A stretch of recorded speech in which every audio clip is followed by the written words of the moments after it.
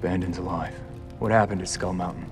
The boy's magic grows stronger, corrupted by the Warlock Blade. It is guiding him to resurrect his master. The Warlock Lord?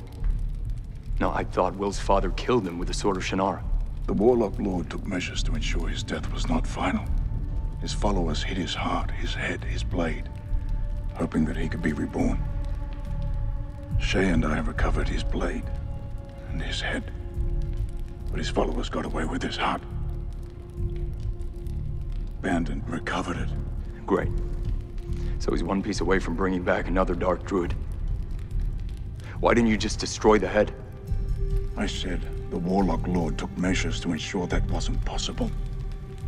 You do not understand magic, Your Highness. The whole thing plays right into the Crimson's hands.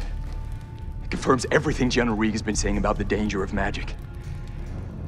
At least tell me you hid that head in a place where Bandon can't find it. Of course I did. But do not underestimate the boy. We must be ready for him. And you must make sure that your kingdom does not fall apart at the seams. It's easier said than done. My people are still in camps. They're tired and, and afraid and... And I'm the king they're left with. Which many don't find encouraging, and right now, I...